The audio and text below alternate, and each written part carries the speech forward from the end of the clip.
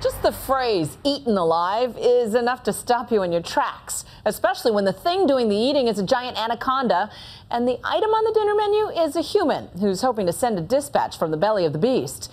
Although things didn't go exactly according to plan. Here's ABC's Tom Llamas. You're looking at an anaconda trying to swallow researcher Paul Rosolie.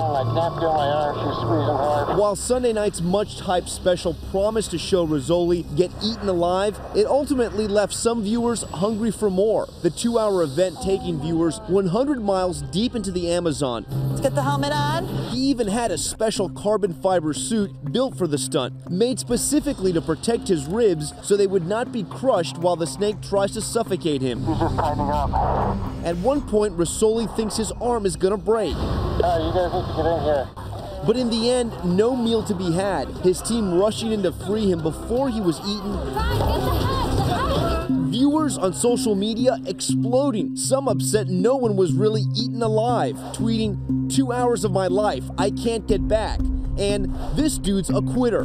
Discovery telling us in a statement it was his absolute intention to be eaten alive. But the experiment had to be called when it became clear that Paul would be very seriously injured if he continued on. But Rosolie says despite the provocative concept, he's really trying to shine a spotlight on some of the problems the Amazon rainforest is now facing. And it worked. Despite all the snarking on social media, 4.1 million viewers devoured Sunday night's program. For Nightline, I'm Tom Llamas in New York.